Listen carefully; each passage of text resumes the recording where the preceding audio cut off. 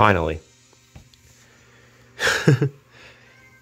that was the easiest weekly demon I've ever beaten. Easy weekly. Um, yep. I'll give it a like and yep, I know, I know.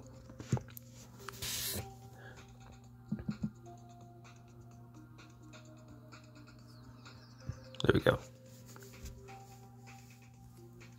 Well,